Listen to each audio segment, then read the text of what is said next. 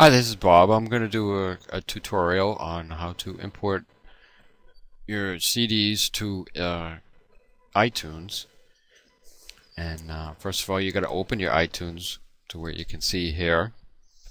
And next, you will take the CD you wish to import to iTunes and insert it into your CD player.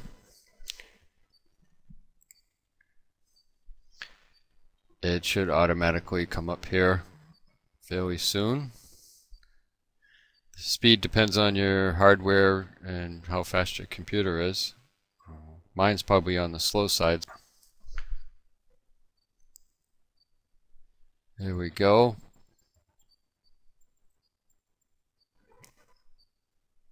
It will change to this. Um, you can import the whole thing as is you would click yes here.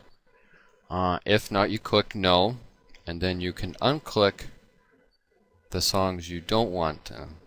I want to import the whole thing, so I'm just going to click yes.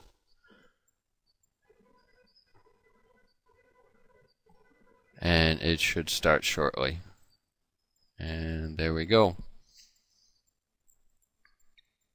You can have it set that as soon as it starts uh, importing, it will start playing the songs.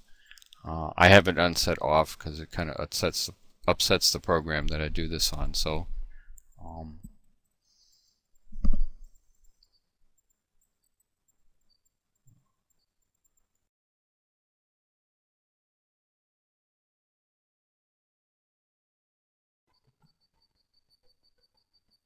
Okay, now we wrapped it up.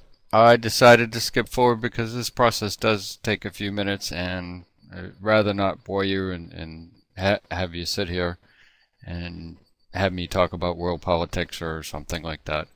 Um, now you can basically play your song. You can click on it here and you can play the song. And uh, I hope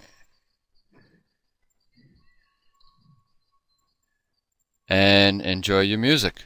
Uh, you can see, and that about does it for today. Thank you for joining me, and I hope you found this helpful, and uh, I hope to talk to you again.